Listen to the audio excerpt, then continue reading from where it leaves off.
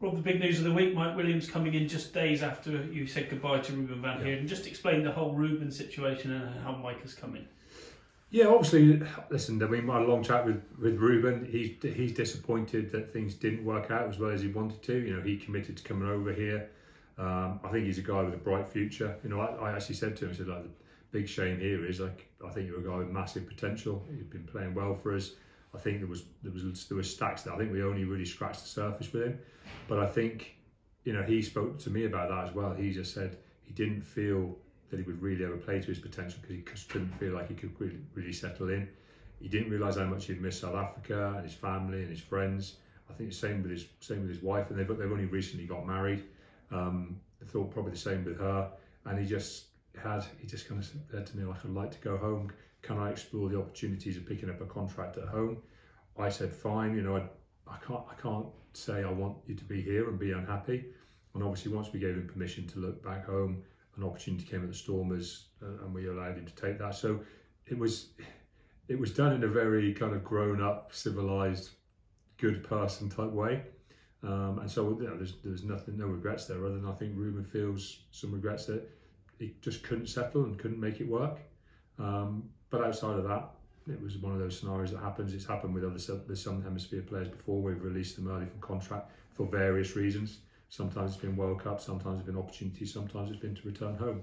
Um, and obviously with Mike, um, things just the stars just aligned really. Um, he was going to become available. Um, Bath were prepared to release him.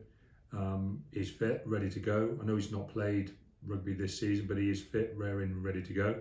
Um, we've got a perfect block now where he can get in, get some weeks train under his belt. We've after the game, we've just got the one cup game in a number of weeks, so it just gives him that ideal time to settle in. And you know, I do know Mike pretty well. We've played against him a lot of times. He's played some really good games against us. I've looked at him in detail before when he's been on the market as a potential signing, and things haven't just quite aligned. So I know he's ready to go. I know a lot of our guys know him. Everybody I talk to says he's a good guy. He'll invest and commit to the club fully and the way we play and what we want to do. Um, I couldn't really ask for, for a better recruit here and now to come in and, and bolster our ranks just at the time we need them going into the Six Nations. And that versatility he brings, both second row and back row, will be key, won't it? Like you said. Definitely. When we've got plenty of players like that, you know, he, but we just we just got. I just said to him, like, you know, enjoy yourself, throw yourself into it. You, you never know what can happen. You know, he's it is a, he's in a scenario now where you know we're in the we're gonna. I've got an opportunity if we if we beat Gloucester to move in the top four for the first time this season. We're, we're at home in the last 16 of the Heineken Cup. You know, let's let's see if he can live a dream and win a trophy. You know that that's what you can do. Throw yourself into things and see what can happen. And I love I love guys having these kind of opportunities. You were asked this morning about Luke Cowan-Dickie and the chances of seeing him in next to chief shirt. You remain very hopeful that that will happen. I think so. I mean, the timings say that he's going to be there or thereabouts at the end of the season. Um, sometimes those can, those things can change by weeks or two either way, and that might take away that opportunity. But you know, obviously, if we get progression games, that helps a lot because it starts to extend the season. But you know, the physios are confident that he'll be back before our last kind of official game of the season, so to speak. Um, I think he's confident he'll be back way before then. You know, that, that's what it looks like, and the combination of the two means he probably will get there. So that's, I mean, obviously that's great news for us. Great news for England, obviously going into World Cup year.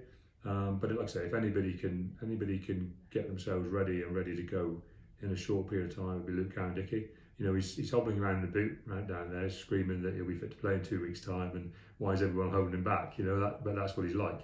And so, like I say, if anybody can get themselves ready for the end of the year, it'll be Luke.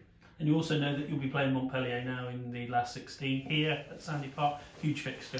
Yeah, obviously, you know, progressing in any competition is fantastic. You know, I, I don't know how many years I've sat in, in interviews and said, look, all we talk about is we're going to fight and we'll fight until we're out of every competition. At the moment, we're in three, which is great, and we're just going to keep working hard and keep fighting and keep looking at the positives and going as far as we can. Um, obviously, it'll be a challenge. I think there's a difference.